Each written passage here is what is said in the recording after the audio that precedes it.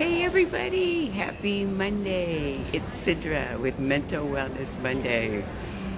So you'll see that I'm at the airport getting ready to go to New York to see my daughter, which is like so exciting. That's why I have no lips today. And um, for her birthday, I'm taking her to the Maxwell concert. It's like Maxwell, Joe, and Anthony Hamilton. So we're super excited. But I also moved this weekend and I'm exhausted. So I cannot wait to, um, I just can't wait to get to her house and rest.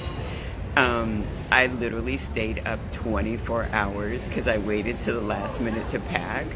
And so I, I never done that before. I stayed up 24 hours. But you know what? Last night at 10 o'clock, it was done and I'm super excited.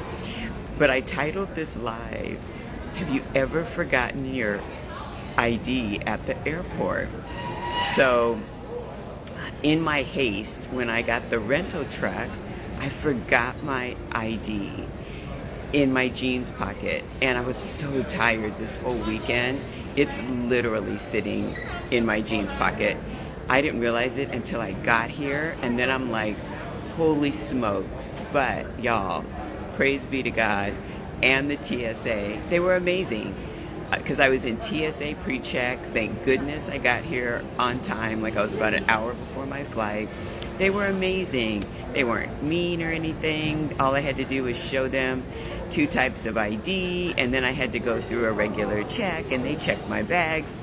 But mainly, I made the flight. So I am just like so grateful. And don't forget, don't panic. Stay calm, because there's going to be a way to figure it out. And you know what? It worked out perfectly. So I got to catch my flight in just two minutes, but I didn't want to miss coming before you. Have a great week. Think about me, just enjoying the time of my life with my daughter. And please don't you ever forget that you deserve happiness now. Pray for safe flights for me. Bye.